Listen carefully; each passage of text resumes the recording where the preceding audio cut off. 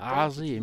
من وجهة نظرك ماذا عن رول ماذا عن دور الشباب في تطوير إفريقيا بخلال المبادرات المختلفة أعتقد أن الشباب هم قادة المستقبل وهم من سيلعبون دورا كبيرا في المستقبل. وهذا أيضا في عصر الرقمنة أو العصر الرقمي الذي نعيشه. وهم من سيتولون القيام بالمجهودات المستقبلية. ومن يكون لديهم الكثير من الإبداع والابتكار في المستقبل في المجتمع. ومن يقدمون التكنولوجيا القادمة لمجتمعاتهم. عظيم. هل تعتقدين أننا نحتاج لأن يكون لدينا خريطة للشباب في إفريقيا وأيضا لعمل شيء للاستثمار. استثمار هذه الثروة. أعني الشباب أعتقد أن هناك مشروعات خاصة بالشباب. وهذه المشروعات تضم الشباب.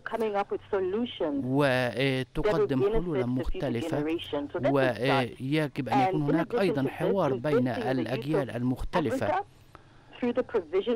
وهذا سيؤدي لانفتاح قارة أفريقيا على العالم.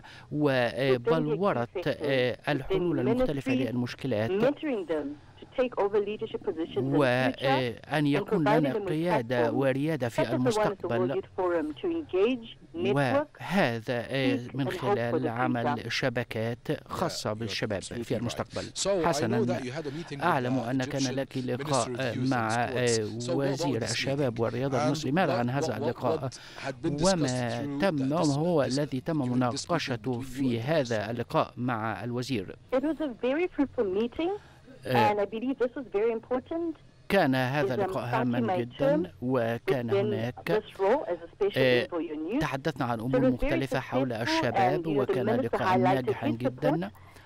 تحدثنا عن أيضا عن الرياضة وتمنينا أن يكون هناك مزيد من التعاون ومزيد من المبادرات التي وأيضا تناولنا مبادرة عمل مدينة رياضية وعمل منصات مختلفة للشباب. وكذلك الجهود التي يتم بذلها لتحقيق نوع من التعاون. والدور الذي يمكن أن تلعبه وزارة الشباب والرياضة في هذا الشباب في هذا الصدد عفوا. أتمنى أن أراك قريبا.